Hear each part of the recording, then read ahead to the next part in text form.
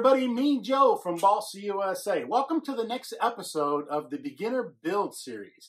I know this series has taken a while. Uh, we got really busy around here once we started this series, but I promise the future build series are going to go a lot quicker than this one. We're not going to, we've got it all figured out and it should be good to go. On this episode, I'm going to cover how to get your top wing ready to install your servo. We're going to talk about a couple of different things as we move along. I'm going to give you some quick tips and hints uh, I want to remind everybody if during any of these builds that you're having issues, please make sure you just contact us. We're more than happy to help out. One of the things I wanted to point out. So I noticed the other day that I was having some issues with my aileron stock. I did the obligatory dry fit of the stick 40 here, and I noticed that I was getting a severe list to the left and I figured out real fast what was going on. And I wanted to cover this so that in the future, if you see this, you'll know exactly what's going on. Now, what we have is I have my right and my left aileron stock. You can see I have them marked here. And I noticed that when I had everything put together, I was getting major tilt. So after looking at it for like three seconds, I figured out exactly what was going on. So what happens is balsa wood comes in all kinds of different uh, grades, and those grades will weigh more or weigh less. And usually we catch this when we pack the kits, but in this case, we missed it. So I wanted to show this to you in case you run into this, then you'll understand what happened. So the right aileron stock is of a grade of balsa that's way lighter than the left aileron stock. What I have is I have a right aileron stock that is 0.5 ounces and a left aileron stock that is 1.5 ounces. So what you're going to want to make sure you do is you're going to want to make sure you balance your wing. It's not going to cause any issues with flight. Everything is going to be fine. With this airplane especially, even if you didn't go in and balance this, it would probably still fly fine. You would just need a little bit of trim to trim it out. But while you're building it, why not go ahead and fix it? So there's a couple of ways you can do that. In my case, what I'm probably going to do is I actually have an extra set of aileron stock laying around that's more in line with the right aileron. It's a lot lighter and it's going to be a whole lot closer. But some of the things you can do to fix this issue is you can go in, and in my case, because my left aileron is way heavier than my right aileron, I could go in and I know I have a one ounce difference between the two pieces of stock. I can do a couple of different things. Number one, I can get some of the stick-on weights and put a one ounce uh, section of the, the stick-on weights in there. What I wouldn't do is I wouldn't rely on the uh, adhesive that comes with or comes on those uh, stick-on weights after time, those can, uh, I've experienced those coming loose. So it, it's better if you would epoxy that in. You can epoxy it in. On, in my case, I'd epoxy it in on a rib on the right wingtip to balance that out. You can also use balsa or birch or any type of scrap wood you have. All I would need in my case is one ounces, one ounce of uh, a block that we have, and just uh, glue it to a rib on the right side to make that weight. Uh, the point is, is even if you have something like that show up on your end, I hope you don't. We usually, like I said, we usually catch that, so it's. I, I wouldn't think it'd be a, a large issue, um, but you can fix it. It's easy. Just balance your wing, make sure it all sets on there good, so that make you that makes sure you have the best flying model that you can possibly have. This airplane is actually designed for a beginner uh, and you want to make sure it's as close as possible so that you or whoever's going to be flying it doesn't have a lot of issues to deal with. Um, so in this episode, we're going to cover the installation of the servo bay. Uh, the next episode, we're probably going to cover installation of the servo, getting everything lined up with the Nyrod, uh, final sanding and prep. And then the episode that will finish this out is going to actually be the final prep final sanding, painting, and covering. Welcome to the next episode. We hope you enjoy it. As always, thank you very much for watching and happy building. Okay, so the next section is going to be to sheet the top section of the middle wing panel here. I'm going to give you a little tip before we get started on this. since you're sheeting the top, you're going to want to make sure that you don't put any glue in this area right here. This is actually where you're going to be cutting out. If you look at the pictures here, you can see right here, you're going to have to cut these wing ribs out, the center wing ribs. It's going to be a lot easier to do that if you don't glue it to the top sheeting here. So when I put these pieces of sheeting down, these are going to be the um, three, 30 seconds by 3 inch sheeting. I'm going to line them up just like this. But then I've also marked. So what I did was I took my servo and I laid my servo out in my bay so I could tell about where I wanted to cut this off at to give myself plenty of room here. And I'll line this up with the servo arm. But I've marked it here so that I know about where to not put the glue. So when I glue this down, I can do one of two things. I can glue it down and just not put any glue here. So glue around all the edges.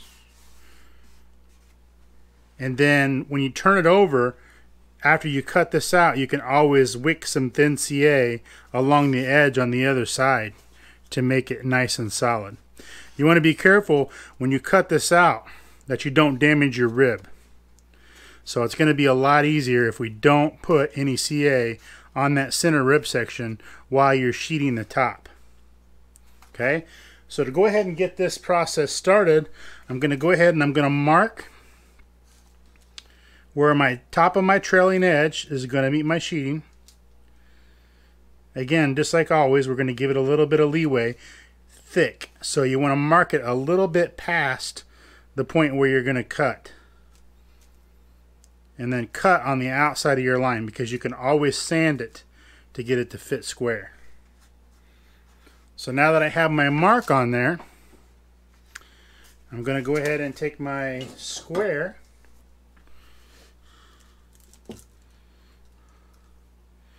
and carry that line fully across the piece. Just like that. And then I can go ahead and make that cut. Pretty straightforward section here.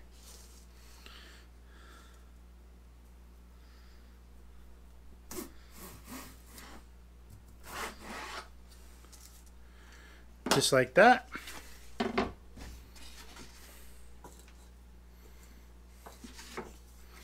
Check it for fit. That looks like it's going to be pretty close.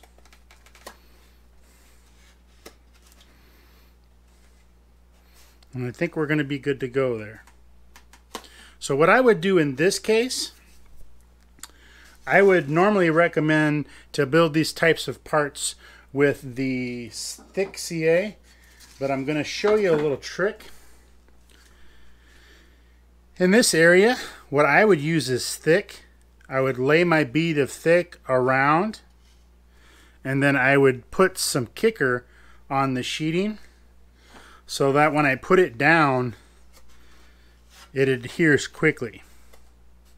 Okay, that's going to kick off that CA. You'll be able to tell that it's kicking off because you'll be able to feel the warmth through the balsa. Now what I would do here on this center line is I would just move it over so you've got plenty of space to get your other piece of sheeting on there. It doesn't have to be exactly lined up. You're going to have just a little bit of overhang on that side, and that's not going to hurt anything. You can either sand that off or cut it off later if you feel the need to, but it really is not going to hurt anything at all just to have, and it's literally like uh, 330 seconds past this other rib here. So you can line it up nice and straight till you get it to the uh, spot you like it. Make sure you check your fit all the way around. I think that's going to be pretty good. So what I'm going to do now is I'm going to grab my Balsa USA thick CA and I'm going to run a bead around here. This thick CA is going to give you a little bit of time to work with it so your parts don't get solidified and solid on there before you have a chance to move it around and get it where you like it. It's not going to give you a lot of time, but it will give you a little bit more working time than the thin. Now what I've done is I've drawn this mark here, so I'm going to go ahead and put my thick on my one side here because that won't hurt anything later when I go to cut that top piece out. I'm going to go ahead and put some kicker on my sheeting and I'm going to put my sheeting in place. Now keep in mind, if you do use the kicker method, it is going to solidify relatively quickly. That CA is going to kick off, so you want to make sure you get it where you want it before it does, or then you've got to cut this piece out. Again, like we've talked about before, if you do make a mistake, it's totally fine. You can cut these pieces back out later, and it's not a big deal. Never be afraid to make a mistake. We try not to make any, but this is building. We're going to make some mistakes, especially first getting started out. Now that I've got that sheeting piece in place, I'm going to go ahead and mark my other sheet for cutting. Again, make my mark just a little long. And again, we do that so that you have room for error. If you cut it wrong, you can always cut more or sand more. You cannot, on the other hand, put it back. That part doesn't work very good. Go ahead and use my square to set my mark.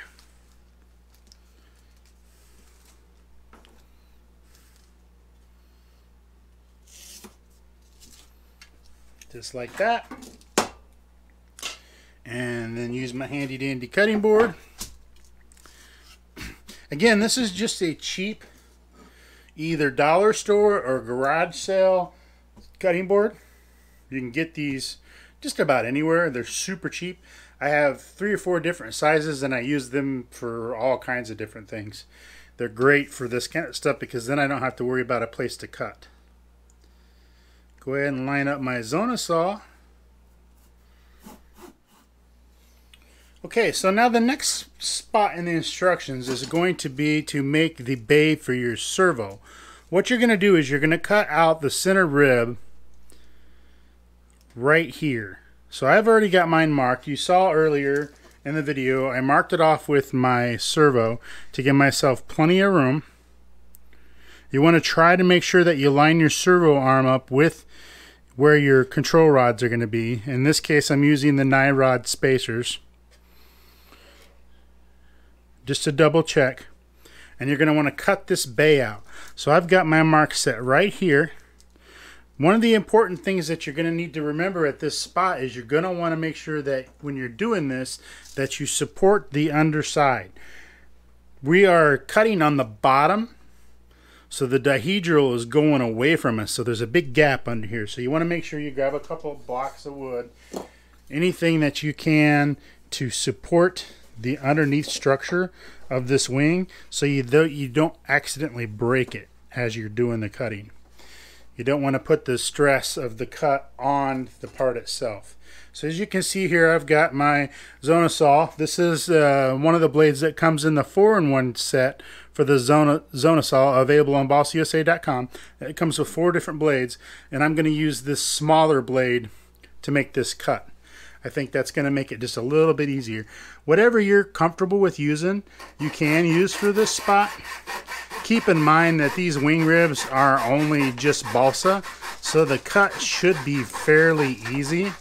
And this is the reason why I didn't want you to put any glue on the bottom side of this so that when we get through this blade or when we get through this piece we don't have to worry about it being glued right here this section here won't have any glue on it and actually I just realized that that blade is not going to be thick enough. So I'm going to go ahead and switch over to my wider blade.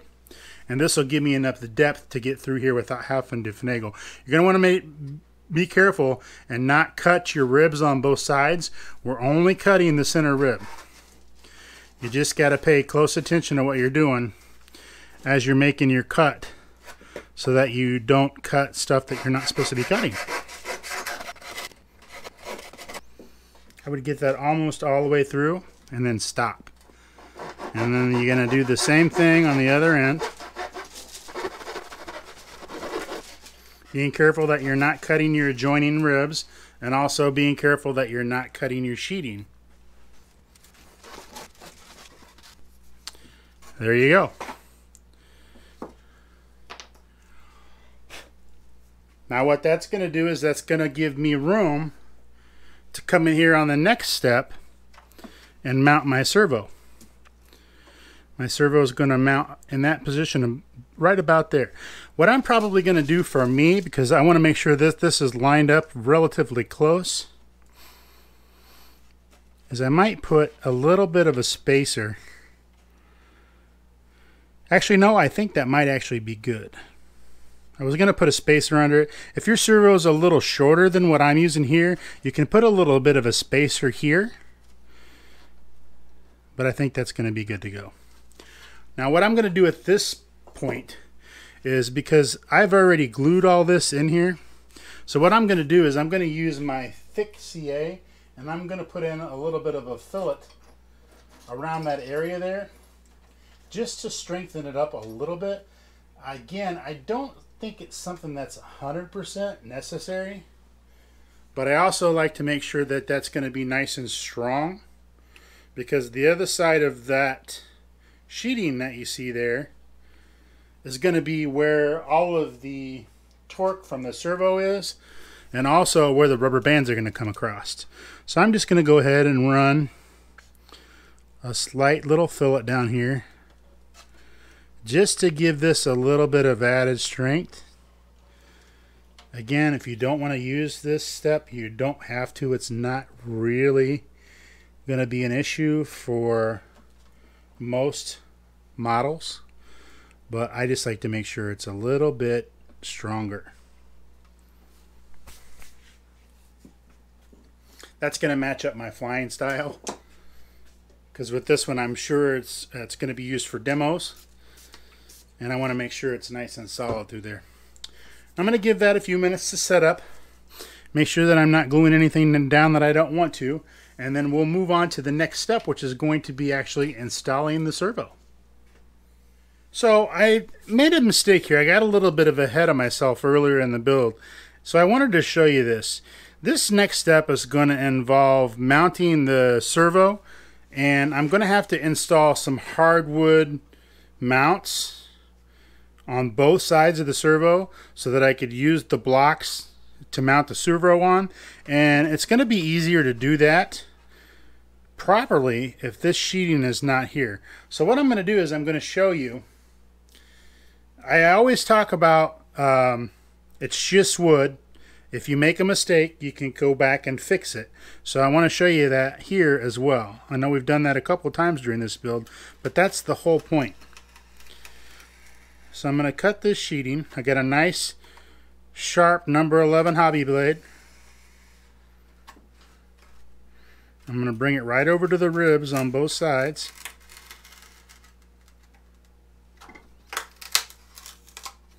To pull that piece out. To do the same thing in the center. I'm to run my hobby blade right along that rib. Again, with this being wood, especially with this being balsa, these types of mistakes are to happen as you build. It's perfectly fine. You're able to go back in here and correct these types of mistakes and not cause yourself a lot of grief. This mistake is literally going to set me back maybe 10 minutes in my whole time for my build. And once I get it done you're not even going to be able to tell we made the mistake. I will say make sure you follow along the instructions. Very good there were some pictures in this manual that I saw that I followed but the pictures got a little bit ahead of themselves, which is fine. That's going to get corrected. I just wanted to make sure we pointed it out. For those of you that have already got your kits, you're probably going to see the same thing. Now, what I've got is I've got this little piece of sheeting on each wing rib. All you have to do is come along that with your hobby blade and slowly cut it out. You want to make sure that you're not cutting your rib. You can see along the edge where it uh, hits the rib and you just want to kind of go along that edge.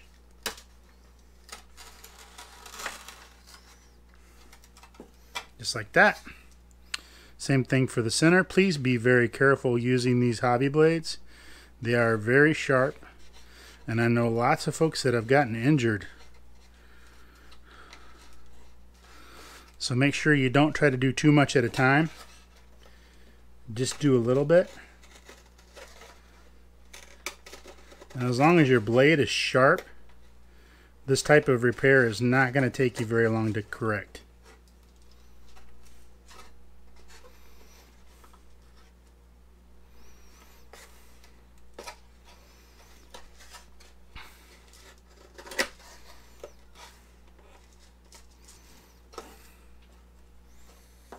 Of the other things that you can do is bring in your Zona saw. If you're having trouble getting through the glue, I actually glued this piece of sheeting down pretty good. And I can come right along the top edge of that rib to kind of break that glue up a little bit. And then I can come back in with my hobby knife. Again, these types of mistakes are going to happen. That's not something that you got to really be worried about. Obviously, you want to try not to have to go back and forth a lot when you're doing these. But I left this in here just so you can see that any mistake that you make is very easily corrected. A little bit of time, a little bit of patience, and you'll be able to get that back down to where it needs to be so that when you resheet it, you won't have any problems getting your new sheeting down. Just like that. And I take my sanding block.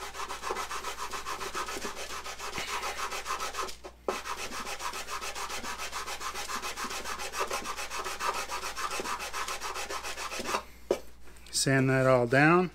Actually, I think that center section is going to need a little bit more.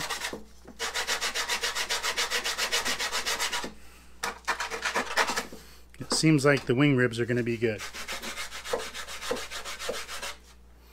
And then when we resheet that, it'll be just like new.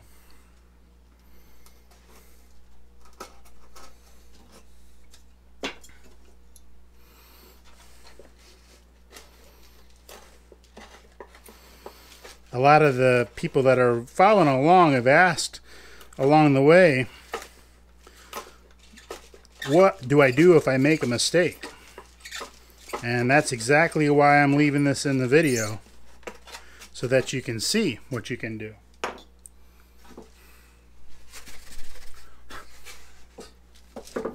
Okay, I think that's going to be pretty good. You can bring in your sanding block and sand it down just a little bit more if you think you need to. And then you can move on to the next step. Okay, so now the next step is going to be to mount the servo. And I've got my quarter by three eighths uh, hardwood servo mount pieces here. And I have my servo. So what I'm going to do is I'm going to place my servo in about where I'm going to want it. I think about there looks good. Now, what you're going to want to do is you're going to want to place the hardwood strip right along the edge of the servo. You don't want it to be super tight because then later if you need to replace the servo, it's going to be a lot harder to get out of there. And what you can do is you can hold it with your other finger and make your mark to let yourself know where that's going to be. Hang on to the servo. Do the other side. You want to try to make sure your servo moves little as possible. This doesn't have to be exact. You want to get it as close as you can for whatever servo you're going to use. And remember what side you mark on. For this step, I always make sure that I mark on the inside. I've got a little CA right there, and I'm going to show you a quick little tip while we're doing this. So what I've got is I've got a clothespin and I've taken the clothespin apart and I've actually 3M adhesive some sandpaper. Okay, this gives me a nice thin little piece of sandpaper that I can use for this kind of thing. I can come in here and sand down. There's just a little bit of CA right there that's going to be in my way. And I can come here with this and I can sand it down. And now it's going to be good. So all again, all that is is just a clothespin. I've taken the clothespin apart and I've I've glued some uh, sandpaper to the back of it. I have these in all different grits and all different sizes, and they're really nice for having a nice little sanding block. Okay, so now that I think I've got my marks where I want them, I'm going to bring my hardwood balsa, and remember I marked on the inside of the piece.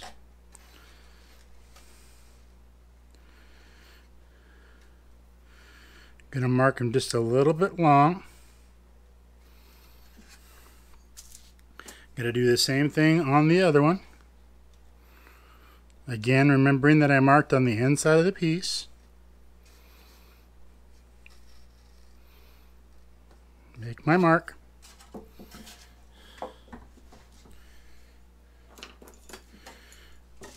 And just like every other time, I'm going to use my combination square.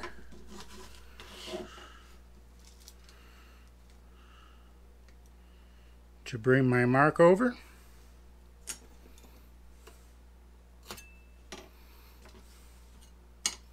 Same thing on this piece.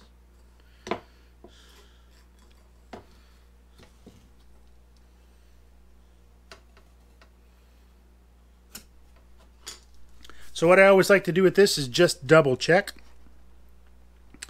that my mark is where I want it before I make my cut.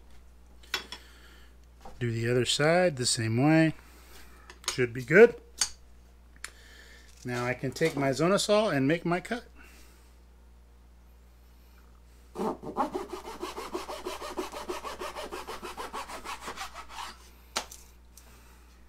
Hang on to those little pieces of scrap from the end of the hardwood. We're going to need those for the rest of our servo mount.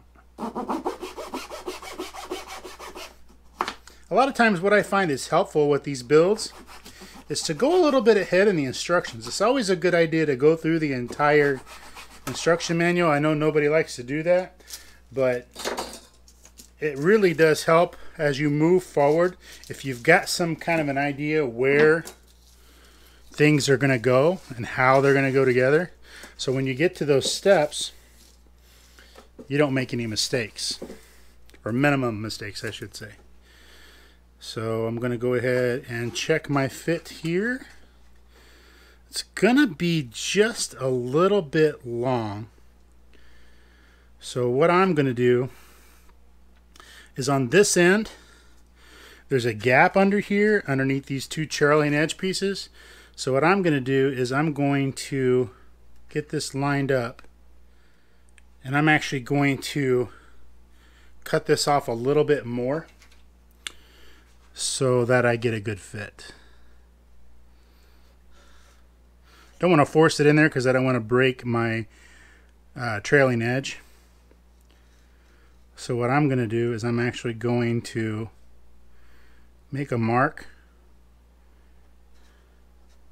And I'm going to actually cut a little notch in the end of this so that it fits just a little bit under the trailing edge too. That doesn't really hurt a thing. So you don't want to cut all the way through. And actually what might be a better thing for this portion is to use a Dremel. If you don't have a Dremel tool handy, you can cut that by hand. You can see all I did was put a little angle on the end of it so that when I bring it up, it actually fits just a little underneath my piece of trailing edge there. And I can line this up and make sure it's where I want it to be. You don't want to get above your piece on the front there because you're going to sheet over the top of this.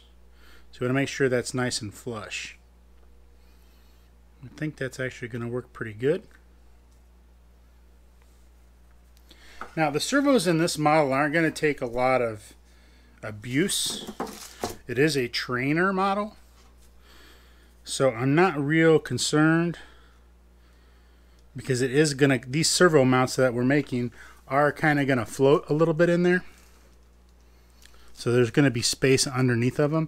If you're concerned with that, you can always cut some pieces and build a little block for it to set on. But I really don't think it's necessary. And that should be good about right there.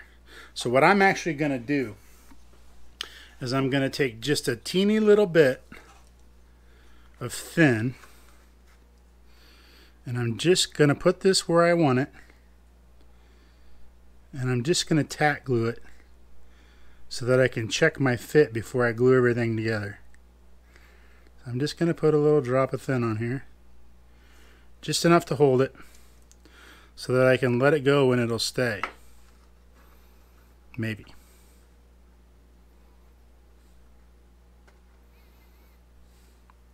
If you just give it a little tack, it'll be easy to move if you need to.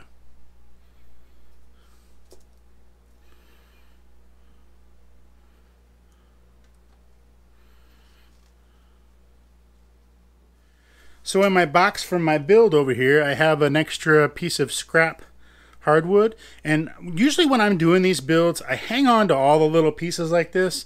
A lot of people will throw them directly away. I like to try to use up the entire kit. And even once I get done with the build, I have a large box that I put scrap in. And when I need a small piece, I just got to go over and grab it. And I've got it. And I don't have to waste wood. So what you can do here is if you can line this up. And all I'm going to do is I'm just going to make a little spacer here just to give this servo mount a little bit more solidity. So I've got my mark made. I'm going to use my combination square to bring my mark across where I can see it.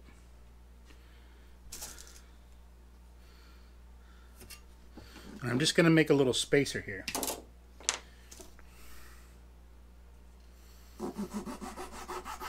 For me, this airplane is going to get lots and lots of demo flights.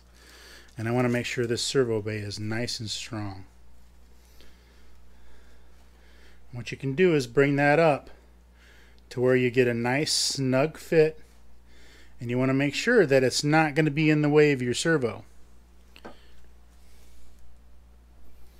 It won't take a lot of punishment because this on the other side is just going to be 330 second sheeting.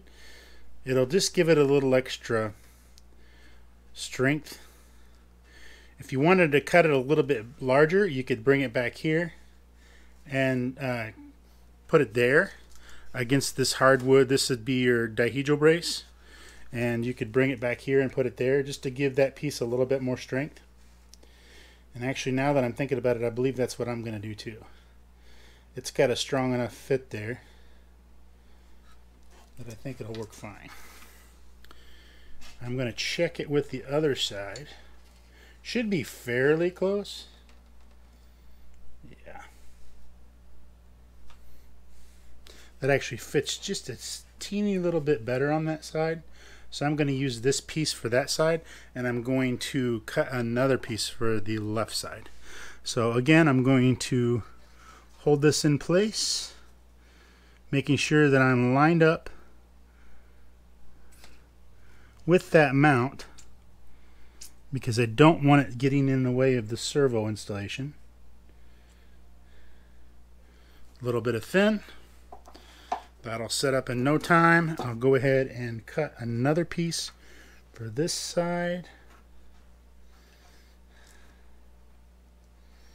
I'm going to cut it just a little bit longer this time.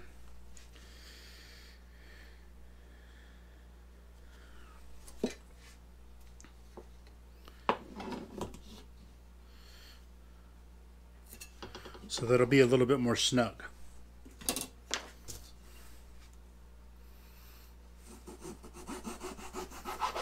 Again, cut to the outside of your lines when you draw your lines. And then if you need to sand it down to get it to fit better, you can always sand a little bit off. See that? I cut a little bit long, which is fine. It doesn't quite fit. But I know all I have to do is get out my sanding block and I can sand it down a little bit of a time until it fits. Again, you don't want to do a lot. Just a little bit at a time. You want to try to hold it as square as you can.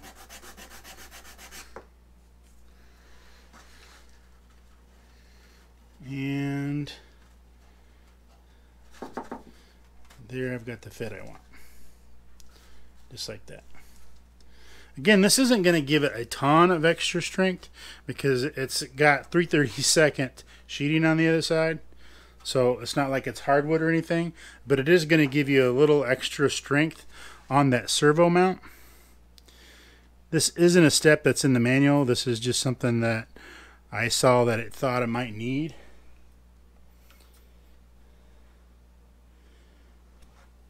And that should be good to go.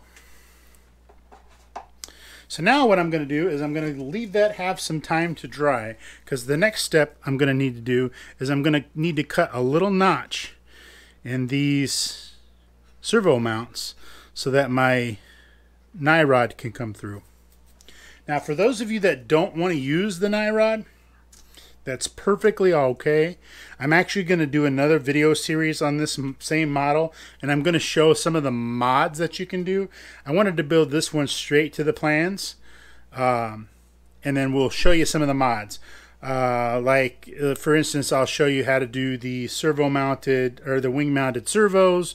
We'll talk about the uh, tail dragger option. We'll talk about the electric conversion option. There's all kinds of things that you can do to make this model your own. We'll also talk about on the other version the um, wing bolt version instead of the rubber bands. I like that option a lot actually.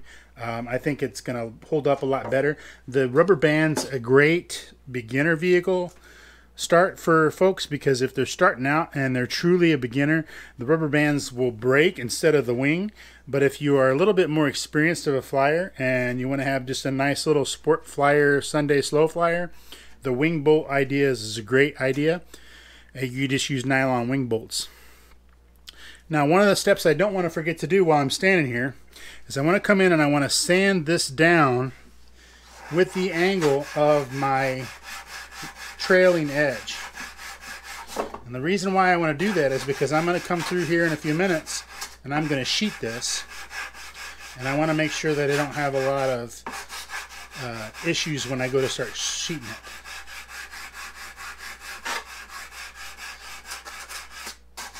This should all line up fairly close.